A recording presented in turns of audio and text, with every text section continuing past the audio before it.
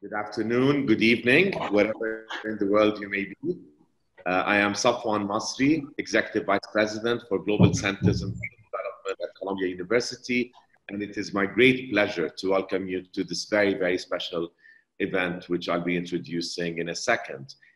Columbia uh, operates nine global centers around the world, uh, one of which is in Amman, Jordan, which is where I am currently, and uh, these centers really serve as a platform for further connecting Columbia University's expertise with the world. And I'm delighted to have two of my colleagues from Columbia um, on this panel discussion today and to be reaching, to reaching global audiences um, around the world. This event today is part of um, a new book series called In Conversation With, which is a joint production with our partner, Columbia University Press. The series was launched to give our global audience an opportunity to listen to and engage with scholars and academics from a variety of perspectives as they discuss their latest book, uh, latest books and research. Our partner, Columbia University Press, was founded in 1893 and is one of America's oldest university presses. It publishes, translates, and distributes books in an array of disciplines and professional programs. I also want to thank and acknowledge our partners for today's event, the Committee on Global Thought at Columbia University, the London School of Economics and Political Science, and the Globalization and World Cities Research Network. Cities of War, Global Insecurity and Urban Resilience um, is a book about the theme of cities as sites of contemporary warfare and insecurity. And I'm delighted that we have with us today Mary Kaldor and Saskia Sassen, the two editors of the volume. This, there is no more jarring example of urban insecurity than the explosion that uh, took place in Beirut uh, exactly a week ago. Uh, 2,750 tons of ammonium nitrate stored in a warehouse at Beirut's port since 2014 exploded leaving over 200 people dead. Many are still missing, and more than 7,000 have been injured. 300,000 inhabitants of Beirut were rendered homeless as a result of the explosion. The destruction of homes and businesses uh, took place up to six kilometers away from the site of the explosion. And the expected damage is in the billions of dollars. What really is also very, very sad about the events of Beirut last week is the, is the banality of the event. The fact that something like this happening in Lebanon um, is perhaps not very shocking. Before the explosion, Lebanon was already close to the breaking point. The lira had lost more than 80% of its value over the past year uh, mass demonstrations started taking place in the fall against chronic corruption and negligence by the state, power cuts, evaporation of life savings, job losses, families facing starvation are but a few of the symptoms of the problems that Lebanon has been having. Uh, with a very fragile health system, the recent resurgence of COVID 19 cases, on top of the destruction of many hospitals as a result of the explosion last week, uh, makes the situation incredibly fragile.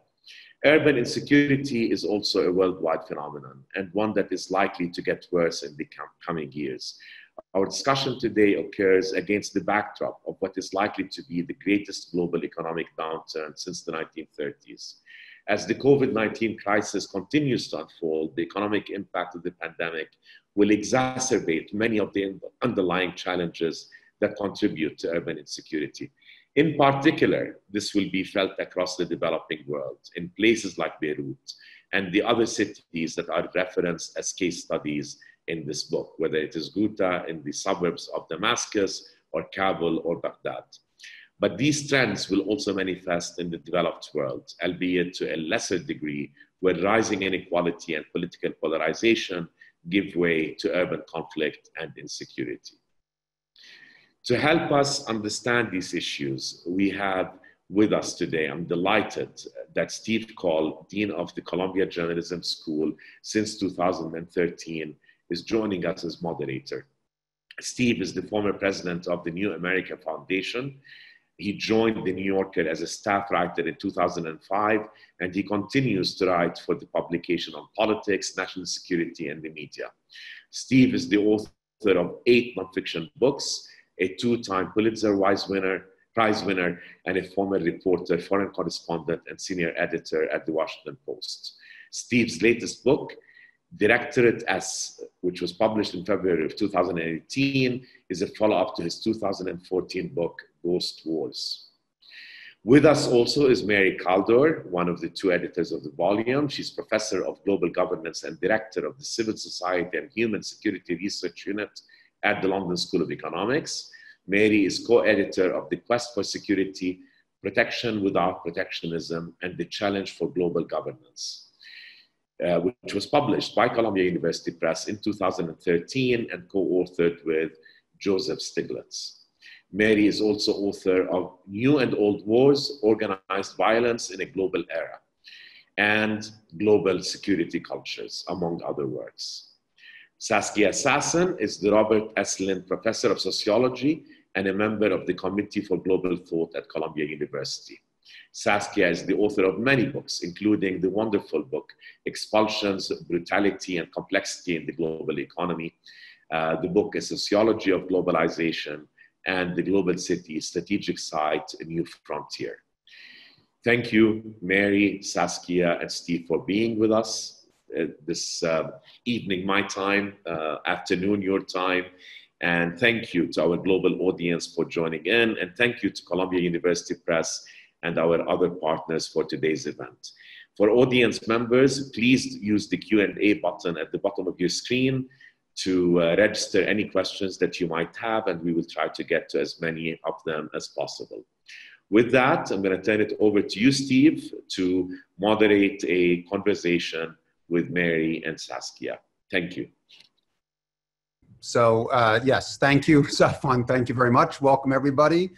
Uh, thank you, Mary and Saskia, for uh, agreeing to this conversation, and I really look forward to it. Um, we'll talk together, the three of us, for a little while, and then we'll uh, turn it back to Safwan to involve the audience through their questions. Um, let me start, uh, Mary and Saskia, where your wonderful uh, uh, sort of academic travelogue, if I may, of a volume uh, begins, and also uh, where where it ends, which is in this marvelous image of the yogurt run in a benighted uh, suburb of Damascus, and from that, the idea that I want you to start out trying to define for our, uh, I'm sure, uh, sophisticated but general interest audience this idea of urban capabilities that you're grappling with in the book. Um, you don't mean power generation or uh, the ability to, to um, you know, carry out immunization programs. You mean something more informal and in some ways more profound. Uh, but it's the it's it's the essence of what you're grappling with in this volume. So I wanted you just to use the yogurt run as an illustration, but go beyond that into um, some kind of introduction of what this idea of, of urban capabilities means to you as a researcher. So Mary, let me start with you. Well, it's, it's that, that even in a moment of war, uh, cities will try to connect to each other, partly because they need each other. No city is an isolate, right? And so what struck us in this study was that in a situation of really a very bad type of war, very brutal, uh, somehow a connection appeared around this question of yogurt. And so I love that juxtaposition war, cities that are suffering, etc., and yogurt. Mm-hmm. Yogurt as some sort of connective tissue. Clearly, it is the one example that we sort of went for. But there are many others. So when cities are at war, it's a different type of war from what we think more in the generic sense of war, of what a war is. So it, tell us exactly what the yogurt run is or was in southern Damascus. I suppose it's a version of trading across uh, enemy lines that we do see in conflicts, but there's a particularly kind of specific uh, vividness about this. Well, let me give you a couple of examples because I'm the person who provided the examples. so the yogurt run, many people may have heard of Ghouta in eastern Damascus, which was under siege for most of the war and really witnessed the worst suffering of the war. It was where the chemical warfare attacks took place in 2013. And in El Ghouta, there is a dairy farm which, produ- which produces much of the milk products, particularly yogurt, for the whole of Damascus. So the dairy farmer made a deal with the government not to bomb his farm so that yogurt could continue to be provided to Damascus. And actually, the dairy farm has become a sort of safe haven where refugees and displaced people, well, displaced people, they all are, uh, tend to come together. That's one example. I wanted to mention another example because at the moment they're the first responders on COVID 19, and that's a group called the People of Aleppo. And they're just a group of engineers, actually, who decided it was their job to keep the infrastructure going, to keep electricity, gas, and oil uh, and water and as it happened, the water was under the control of the um, uh, Islamist opposition, the oil was under the control of ISIS, and the electricity was under the control of the government. So when they wanted to repair pipelines or whatever it is they wanted to do, they negotiated with all sides. And they're probably the only people who've negotiated with ISIS. And now they are the people trying to organize a response to COVID 19 when there's no other response in the country. So, those are two examples of what we call urban capabilities. And which also, in that sense, you know, it's something that we don't think of when we talk about a place at war. We think war. But there are all these other complexities that really become visible when you are when you have a city. If it's just an army, it might be less visible. But when a city is involved, it sort of becomes visible.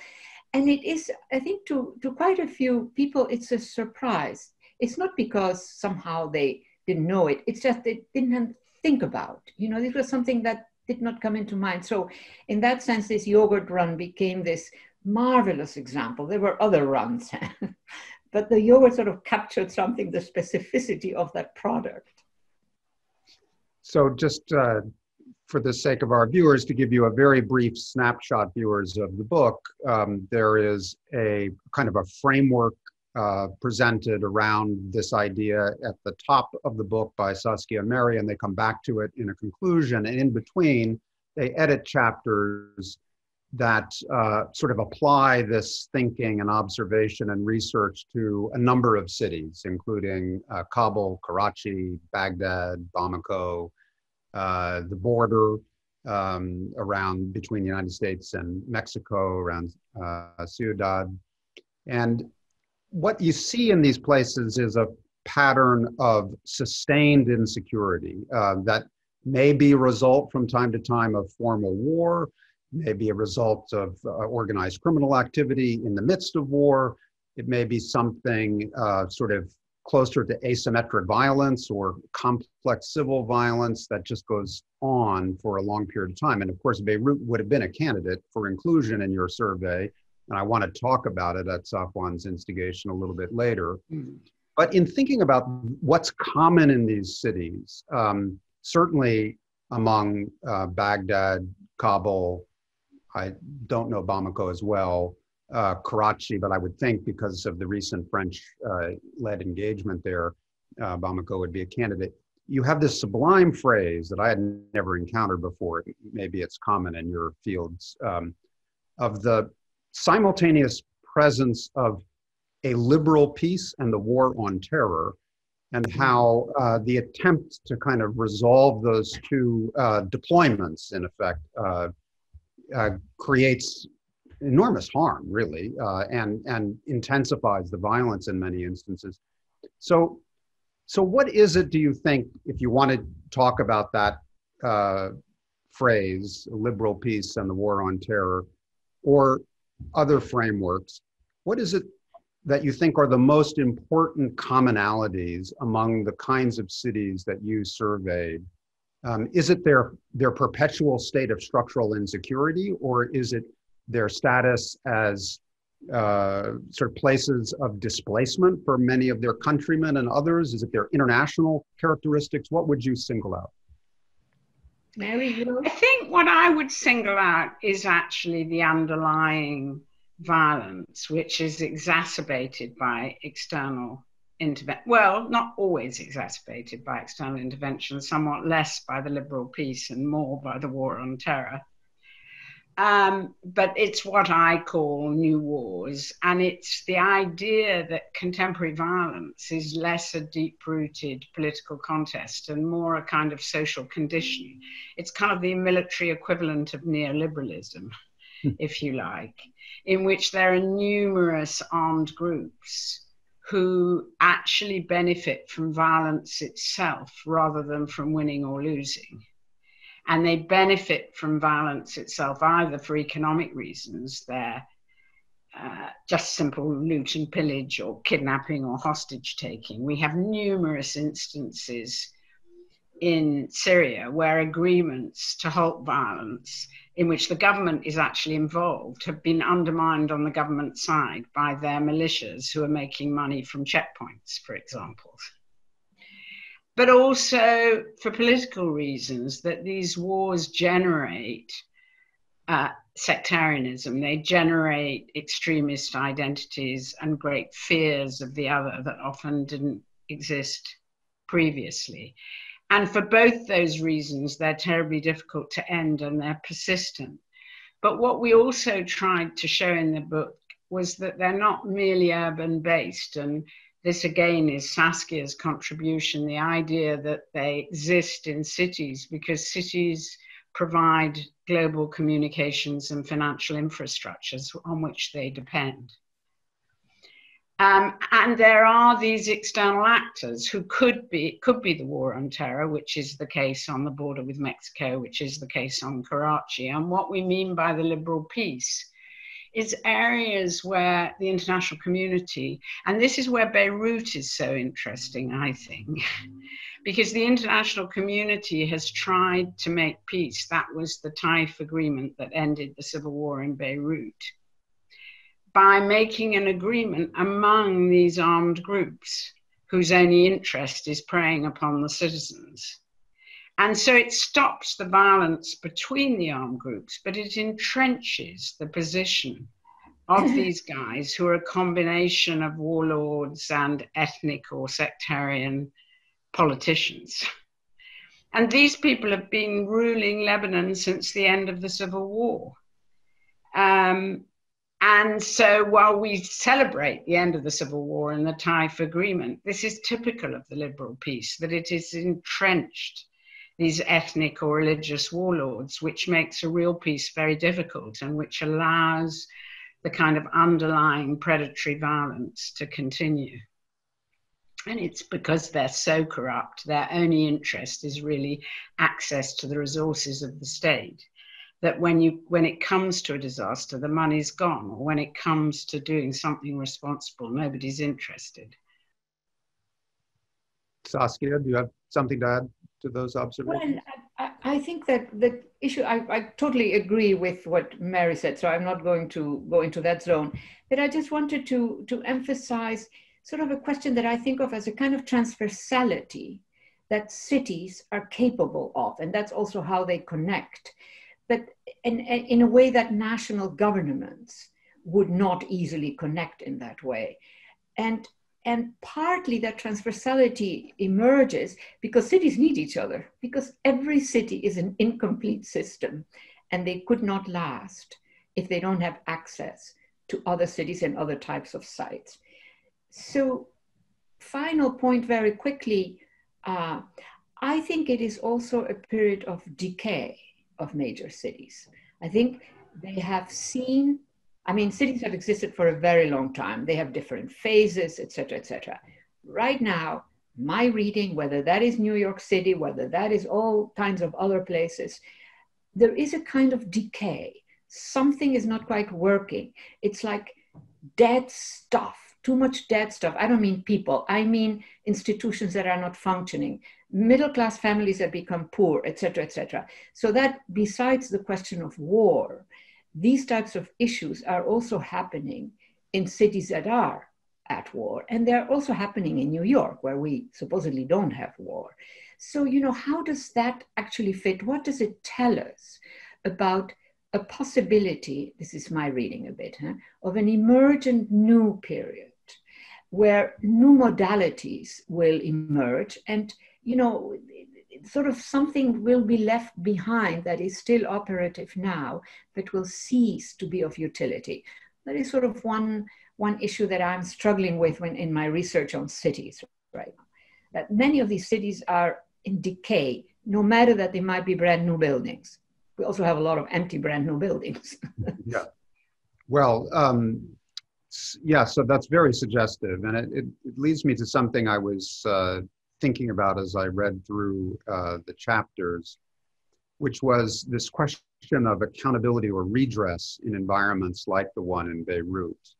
Uh, it seems, perhaps you wouldn't uh, agree with this, but it seems that the age of connectivity and social media since the Arab Spring has given rise to many instances of popular mobilization against failing urban governments. Um, and yet, certainly in the Arab world, a lot of these mobilizations have ended in tears or have never even gained a cabinet seat, never mind, uh, you know, a full promise of reform.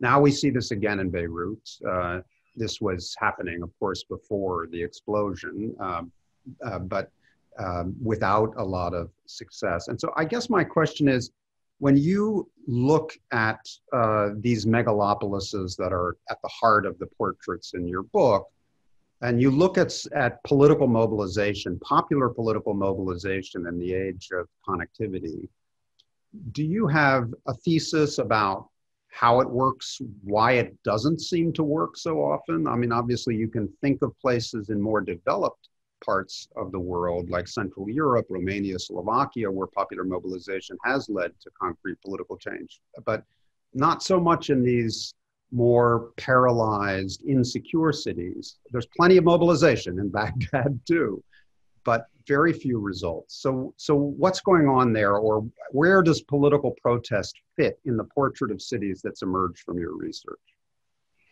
Actually, I think there is some change happening both in Lebanon and Iraq with governments resigning and but before i say that i want to make a couple of points. One is about the difference between 89 and the arab spring because i was very involved in 89 and the other is about the nature of the protests in beirut baghdad and i think we should include sudan because that's very similar and very interesting even though it isn't in our book Mm-hmm.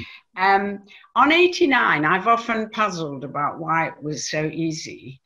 And what I realized retrospectively was that the communist elite saw their counterparts in the West who were capitalists and thought they could exchange their political positions for material wealth. And that's exactly what they did. Yes, they so they allowed a change of regime and they became they became the new oligarchs. Right. Their hypothesis was correct. As it turned out. What? Their hypothesis was correct, as it turned out. They could do that. Yeah. Yes. no, this is my retrospective hypothesis. At the time, I thought.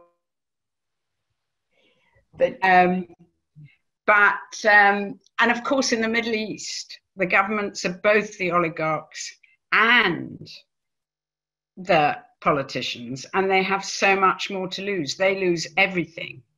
And so they're extremely resistant. But what I think has changed is actually the nature of the protesters. And that I think is really, really interesting. Um, what you see if you follow what the protesters in Iraq, Lebanon, and Sudan is they're not calling for their government to fall they're not calling, I mean, they want the government to fall, but they're not ca- calling for the end of the leader. What they're calling for is a change of the system, and their analysis is quite acute. You know, the Baghdad slogan is in the name of religion, you're looting us. Hmm. And the same, it's this combination of corruption and sectarianism that they're all against. And the other very interesting thing about these demonstrations is that women play a hugely important role in all of them. And the women have actually developed a theory that if they're the front line, it's going to be more difficult to stop them. Mm. Added to that, sort of the change in the nature of the protest, I think we're seeing a huge change in the nature of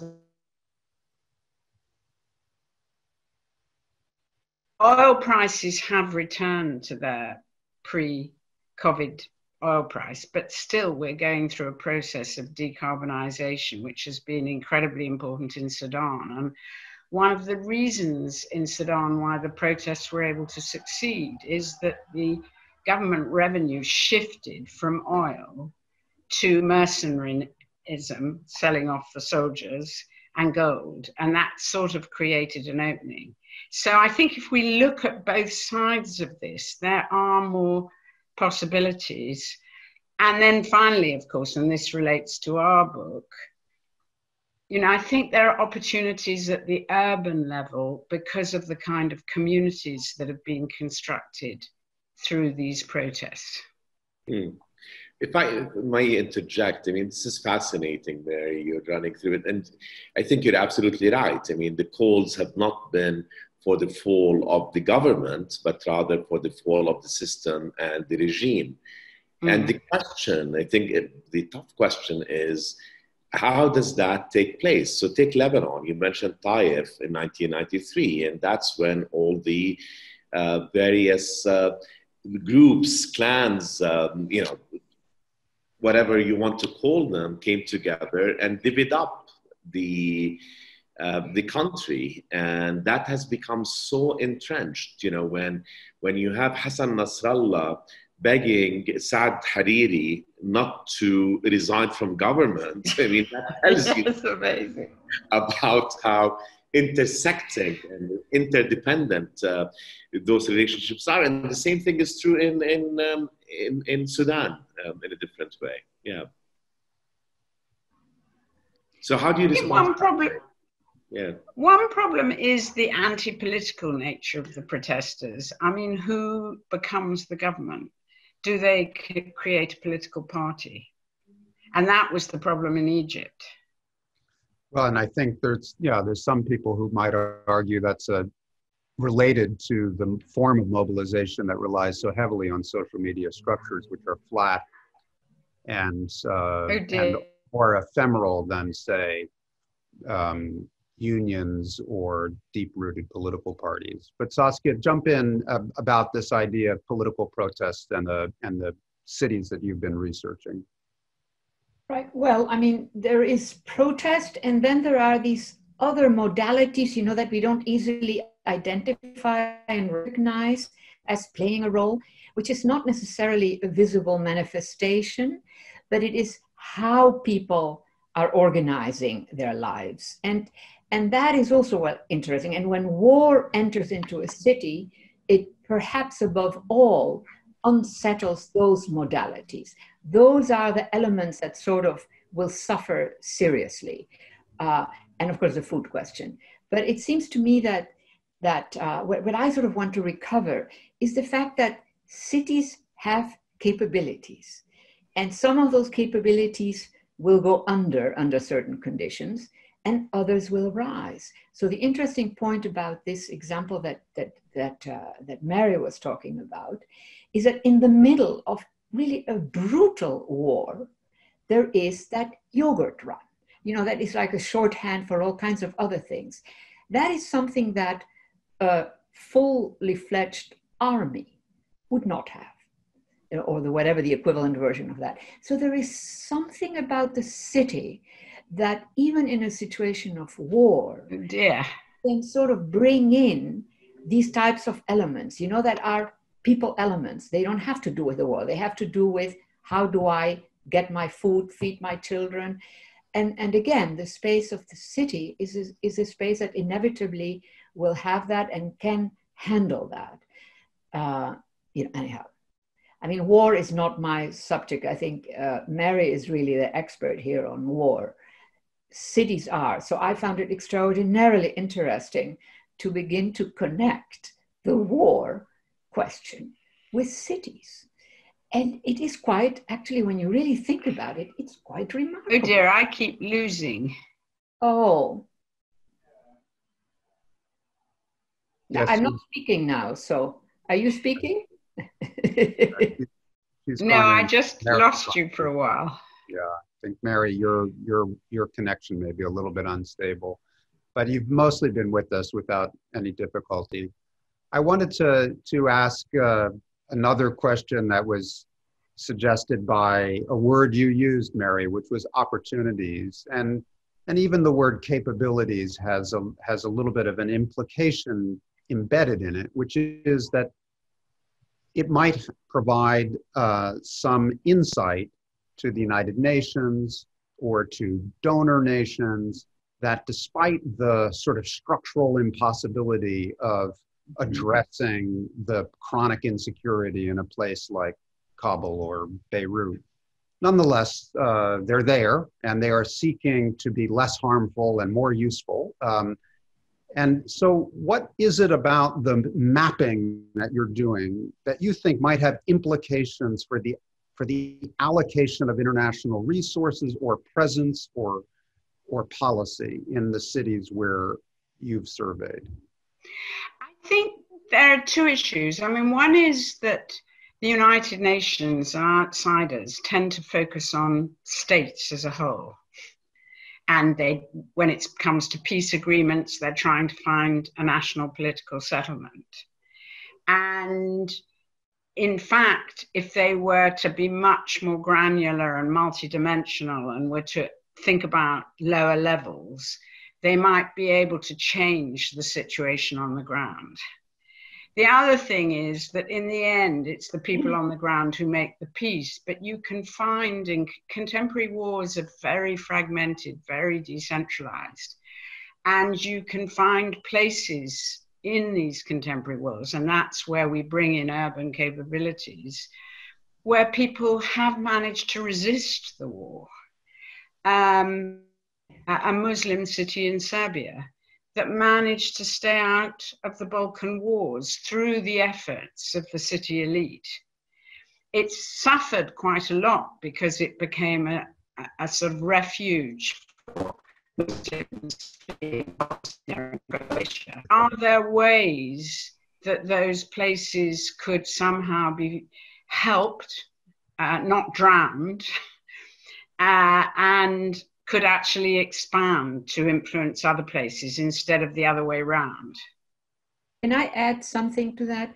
What is, what is important about bringing in the cities is that cities are, are not national institutions on some level. They're not simply a national institution. Cities can launch initiatives, cities can change elements in a way that a national government very often wouldn't even think about, wouldn't consider, or wouldn't be able to. So when you look at the long histories, you see that some of these cities have lasted forever across wars, across everything, whereas all kinds of national governments or you know the equivalent have gone under. Hmm. So there is a kind of a capacity of survival that a city has. I mean, some cities have been wiped out, but not many actually, and they tend to come back sort of alive, even if it's half alive.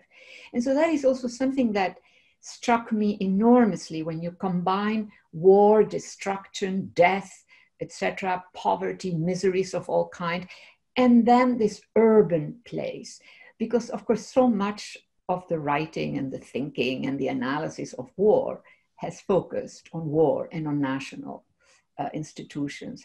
And so we thought that that this would really be sort of to, just to add another element, you know, to the whole story of war and the militarizing of wars, etc., etc., and how a city can actually survive because it either goes under or it has to feed its people, so to say. And so mm. there it is. And that's why this yogurt run, you know, became this emblematic element because the yogurt only happened in one place by God. Enemy towns would handle the yogurt run. And that tells you something about people and how they think about war.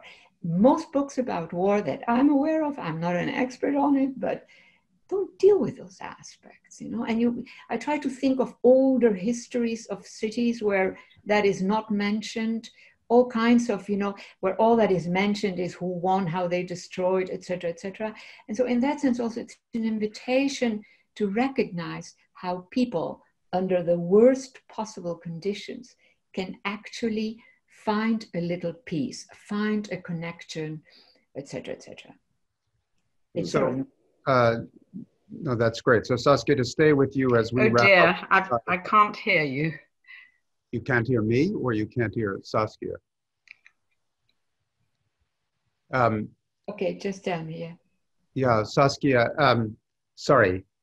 Um, as we wrap up our part of the conversation, I wanted to try to ask each, each of you a little bit about uh, your sort of forward-looking uh, research uh, agenda w- around cities um, and what you think uh, it would be interesting to learn in a next generation of study. And, and Saskia, I think you set the table for this by talking about your sense of cities in decay. And uh, with without asking you to only talk about that, could you say more about what you mean or why, what you would measure to demonstrate the decay that you're intrigued by? Well, there are sort of two vectors in play here. One, you could just go back across time, across epochs, across, and there are these cities, you know, and they're still with us. they may have decayed, they may have changed, but you stand back and you say, wow, how is that possible? That's the only thing that has survived all the terrible things that have happened. You know, I mean, just think about the West. So that's one aspect. The other aspect is that we humans, you know, we're sort of stuck with each other a bit. Uh, of course, there are a few solo heroes, you know, but, but the truth of the matter is that we are really mutually dependent. We do not, we are not autonomous, right? We are not that kind of, can, can you hear me or? Yes. Oh, okay, fine. And so to me, it is also, in, in that sense, this question of the city as opposed to the country, as opposed to the national huh, space. Which is a new phenomenon, Saskia, right? Okay. Which is a new phenomenon because, you know, listening to you talk about the cities versus the nation, I mean, if you if you look through an older history, wars were, were, were you know, wars between cities and empires, right? Exactly, exactly.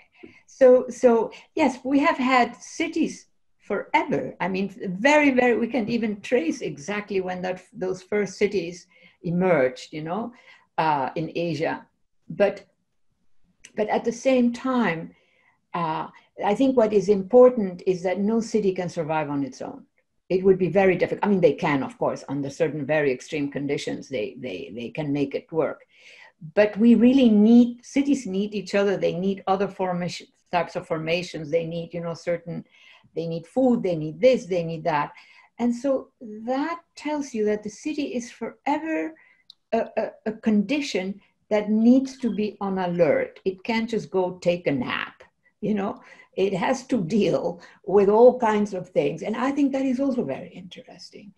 Absolutely fascinating. And of course all of us who have uh, lived through New York's uh, year or nine months uh, can testify to um, the sudden arbitrary changes of course that a city can can track just by its nature by the fact that so many people and so many connections are packed into the same geography. But um, all right well we're we're a little past uh, 20 to the hour and uh, mary i hope that you're um, you're fully back with us, but um, why don't I uh, uh, hand off now to Safwan to broaden the conversation with questions from the audience. Thank you, thank you. Uh, yeah, no, it's it's a fascinating conversation, and I'm sure we can spend a lot more time on it. There've been many questions that have come through the uh, Q and A function, so I'll try to get to a handful of them at least.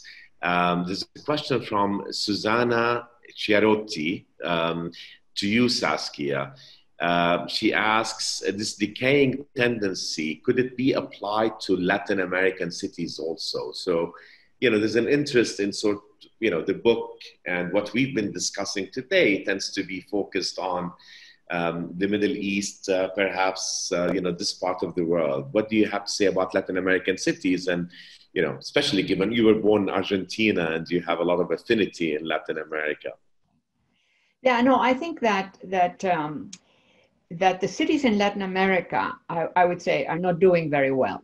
This is not a good period you have elites that have become more and more powerful and more and more indifferent. They know that they can not care about the poverty in their cities. And so it actually is not a brilliant period, as the Brits might say. You know, they love the term brilliant. Uh, it really is a very problematic period. Now, the, the question for me then also is just to, I, I want to do this very quickly uh, when you look at these extraordinarily long histories of many cities, or at least several cities, uh, enormous decay, death, violence, etc., and then poof, there, the city re-emerges. You know, and I have that sense also now that even though there are many very negative conditions in play in many cities, inequality has grown enormously, homelessness has grown, we are poisoning, you know, we don't have good quality water, etc., etc. At the same time, if you look at the long histories of cities, you see that they all have had terrible moments where you would, well, the major cities have had terrible moments, and you would say they're, they're finished. They're not. They, they simply, you get the sense that it is very difficult to eliminate a city. Hmm. You know, it, it, it sort of, there's a kind of irony hanging in that for me, you know, that how difficult it is to destroy a city. Look at how the Germans bombed the hell out of Paris, they, the, the, and the Americans, you know, bombed the hell out of some of the German cities. Dresden, of course, a core example. And they come back once a city has installed itself, it's very difficult for that city to disappear. And that to me is, oh, quand même, you know, it's sort of, it's an invitation to think about what is it? Is it us, the people? Is it our fragilities? Is it that we ultimately need each other? We need these, you know, conglomerations of different types of humans, different capabilities. I mean, that's the other issue we haven't talked about, is that a city needs an extraordinary range of specific abilities. So in that sense, we need each other, you know, mm. inside the city. Saskia, that's fascinating. Again, you know, I mean, to bring it back to this region and uh, where nations are a really new phenomenon, right? And uh, people still today, in the 21st century, identify with the city that their ancestry is from. They identify with the city that they come from. Uh, you know, you're you're Nabulsi as much as you are Palestinian. You are Aleppan, uh, perhaps even more than you are uh, Syrian. Uh, let's go to another question, and maybe we'll turn this one to um, to Mary. Uh, it's from uh, Mohan. who asks, have both the oligarchs and Democrats failed cities? Will there be any resurgence of cities um, in the foreseeable future. But I think the first part of that question is quite interesting. You know, I mean, I think it is, and I think uh, while I wouldn't want to answer it as a universal, I think it has been the spread of neoliberalism, which the Democrats took up. Yeah. Ah. What a pity. Pitié. Mary, uh, we cannot hear you, so maybe I'll come back to you with that, and maybe if you switch the video off, your connection might become better. Yeah, municipal levels, but also yeah. introduce this contracting out culture. Uh, and both of those things, I think, cities. But the quest, second part of the question can cities bounce back?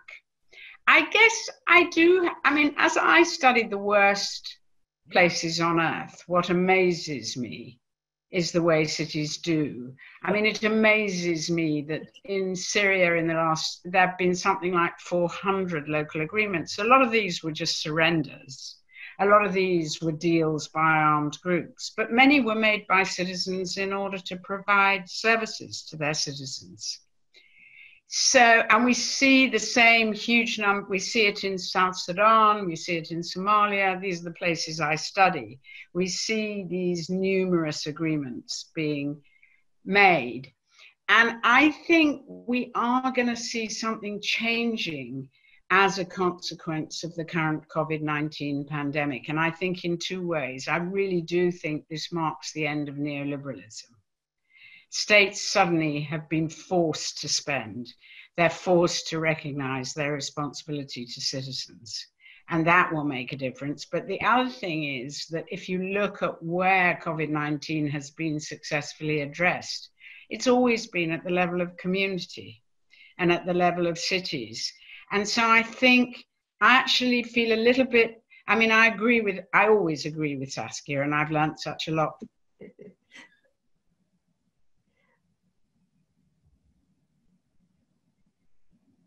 Okay. Um, let's wait until Mary comes back on. But uh, what Mary, what Mary did not say is that where COVID has been contained best has also been in, in Marseille. Yeah, and, in countries. Oh gosh, I've lost you again. By women. Yes, there's a rise in infections in France. Right, right. Um, Hilary Wainwright asks about um, the urban capabilities. And uh, this, I think, you know, is, is more for Saskia. Does your research into the nature of urban capabilities reveal any commonalities as to the nature uh, of these capabilities? How far um, are these capabilities the result of work by organized citizens and civil society as distinct from established institutions? Uh, are they in that sense emergent, containing innovation, and therefore a source of the new um, well, yes, you get you get the point. The rest yeah. of it altogether. Well, I think some of the questions are the answers. Some of the questions, you know, in what you just described, are the answers actually right. to the matter. No, but it is really interesting. I mean, cities are some of the oldest modes in we hum in, in through which we humans have come about, have existed. Uh, and you certainly come from an area that is very rich in all kinds of long, long histories of cities. Now, it on the one, I mean, the self-evident elements are that we need each other to have food, we need each other to protect ourselves, etc., etc. right? As as you know, in the complex cities, all kinds of other elements come in play, which have to do with a very different type of need but that needs that we also have, which is to actually not just benefit from the work of each other, you know, to survive, but actually learn, find out, disagree. You know, it's sort of, I think that must have been part of what helped our brains develop a bit you know that people disagree that they said no we don't do it that way so you, you can sort of imagine scenarios of or older epochs, right, of many long times of, of originating stories of origin, as we call them, right, where you can imagine that trying to sort out what to do, what not to do, etc., was in itself a task that gave intelligence, that brought about a bit of intelligence, if you want, and that people really needed each other. I mean, this notion, we don't realize in our current sort of situation, we tend to take it all for granted the notion that I need other people, yeah, okay, I need the cleaner, I need the dentist, you know, but but not that larger space within which we function, where we really need a diversity of people. We need people whom we disagree with, etc., etc. You know, and that is actually, when you think about it, a remarkable part of our human conditions. We human as isolates are really not very interesting. We humans as being part of connective tissues. We're very good at that. And we can also have wars and disagreements. But that, that to me is extraordinarily interesting. And that's a marriage of city and us, humans who are, you know, we need each other. So there's something, and, and that is why this is not going away. You know, empires have fallen, modes of, you know, political regimes have fallen, but by God, the cities are there. And you come from a part of the world where you have very deep histories. I mean, extraordinary histories. Mary, oh. there's hope in what you're saying also because some cities have been destroyed um, and uh, perhaps they will reemerge. I, I'm sorry, Saskia, you wanted to ask Mary something. No, I just wanted to call her to make sure that she. Mary, you need to unmute. We can't hear her. Mary, Mary, you need to unmute. I can't unmute her. Okay, there we go. There we go. I don't think so. Okay, let's go to the next question. But Mary, if you can hear Urban me. capabilities aren't actually organized civil societies. In some cases, they are. The people of Aleppo was a group of people who organized themselves. But they're actually sort of the mutual needs of the city, which is what um, Saskia is talking about. But those mutual needs can be built on. They can be transformed and used in ways, but they can be built on um, in ways to preserve the sort of cosmopolitan civic character of the city. And it's kind of no, no, interesting that those places that have experimented, you know, Bogota, we talk about in the book, the civic, the notion of civic peace is quite a popular notion um, at the level of the city. Yeah. And maybe we should be thinking about civic peace rather than liberal peace. Yes, I hmm. agree mm. with that. Hmm. Um, so I want to use that, Mary, and turn a question to our moderator, Steve, if you don't mind.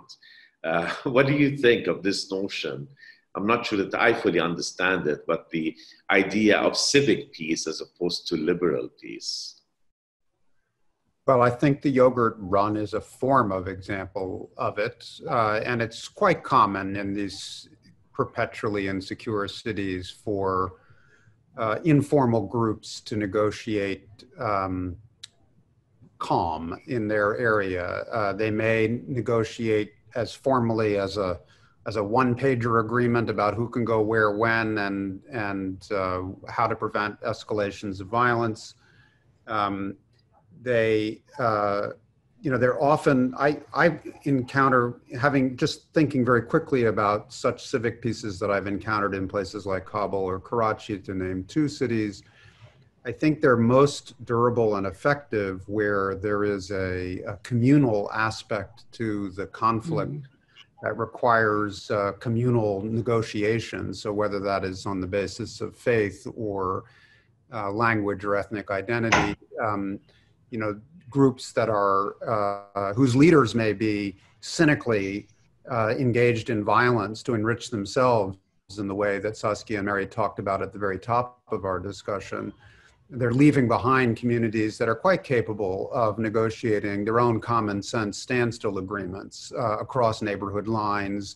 Uh, often in the book used this phrase I hadn't encountered it's a mouthful, but enclavization of cities. Yes. And that is a result of perpetual insecurity. You get groups that huddle together for their own protection. Once they do that, they can negotiate civic peace uh, quite efficiently because they are geographically whole and they can talk to the folks next door who's you know who they may be formally in conflict with because of the cynical opportunism of their leaders but at a neighborhood level they can find sustained pauses and standstills. Um, it, I'm, sure there, yeah, I'm sure there are other versions of that, but somehow I'm, I'm now reminded when I was growing up in Buenos Aires, there was this horrible time uh, when the, the, um, the military, you know, took live people who were contestatories and just took a plane and dropped them in the ocean, you know, killed them, basically, mothers, etc.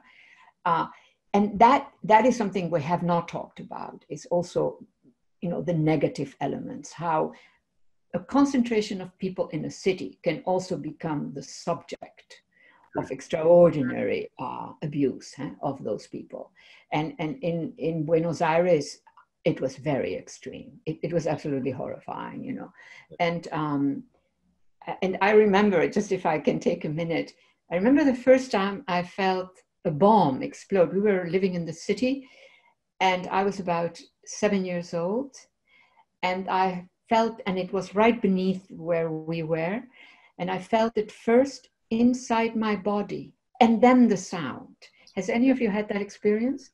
Mean, it was quite extraordinary. That first your body, and then, I mean, a, a question of fractions of seconds. But that period of Argentina was really severely bad. And the city, of course, revived afterwards, etc., etc. That is also a capability that cities have. I mean, there are very few cities that have disappeared from the landscape. If you had it there, you know, 5,000 years ago, chances are it's still there, you know, no matter the ups and downs. Mm. Mary, you want to uh, bring in some final points? It is your... The awful thing is that uh, my internet, I don't know why it's so bad. So I don't know if you can hear me. I, we hear I you. could we hardly hear, hear. We hear you. Yes, yes. But I just wanted to say to Steve about the local agreements that I think civic is when people are against communal identifications. I mean, I first came across the term in Bosnia during the war when they described the civic parties as the non ethnic parties. Mm. And it's when citizens come together not to benefit a particular community, but to try to benefit the whole local area that I would call it a civic peace. And um, I think in that perspective, women have always played a very, very important role, uh, crossing ethnicities and working together.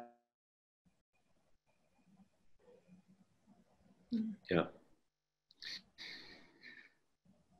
Um, you that I've come across at local areas and plenty of deals among armed groups. So I'm not being positive necessarily about all local agreements, but I'm saying where there are active citizens, usually teachers and doctors and engineers, who really want to make the public services work for people, that's when local agreements um, can represent a sort of civic peace.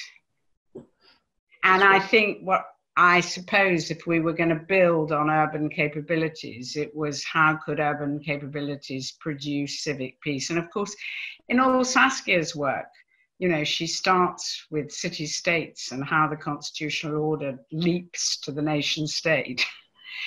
and I guess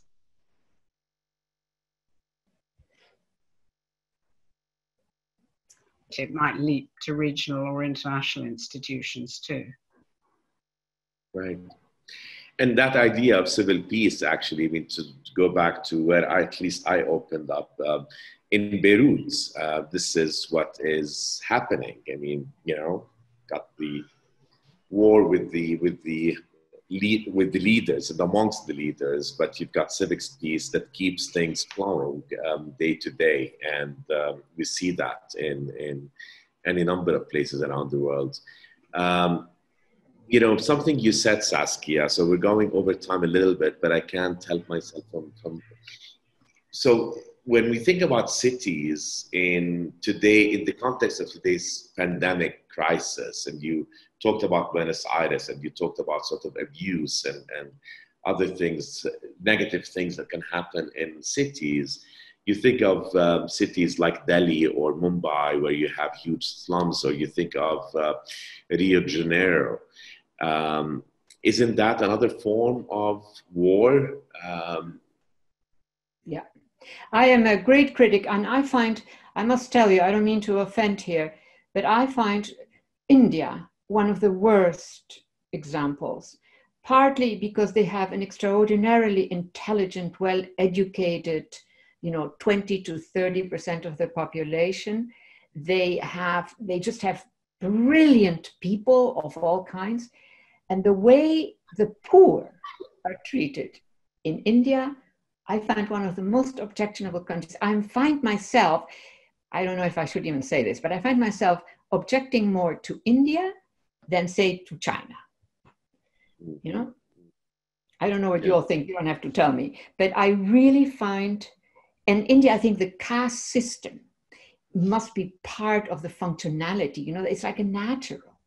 You know, right. these rich, I mean, 20, 30% were really rich and they're fine and they're intelligent and they're wonderful, and zero interest in the poor.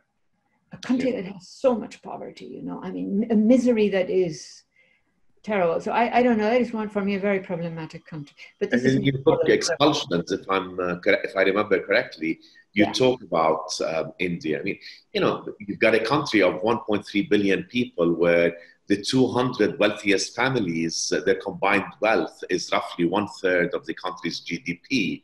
You've got a problem. You've got a huge problem. Uh, this has been absolutely fascinating. Um, and it's you know really a testament to how global um, the the how globally connected we have become, uh, perhaps uh, especially during this Corona crisis. Mary joining us from Provence, and I'm sorry for the uh, spotty internet connection that you have, uh, but thank you for being a trooper and hanging in there. And Saskia in London, and Steve on the shores of Pennsylvania, I think, or New. Okay. Well, I can't hear you. Uh, New Jersey. New Jersey, okay. Garden spot, garden state. This sounds good. and myself in Amman and with a global audience from all over the world. Um, can't thank you enough, really, uh, for this brilliant conversation. Can't thank you enough, Mary and Saskia, um, for the book. Um, you know, both uh, Steve and I independently read uh, through parts of it, at least uh, in preparation for today, and I can't wait to, um, you know, continue uh, reading it. And uh, to our friends at the Columbia University Press, uh, to Eric Schwartz and Meredith Howard in particular, a big shout out, and to the Committee on Global Thought, to LSE, and all of our partners. Um, thank you so very much. Be well and stay safe. Bye.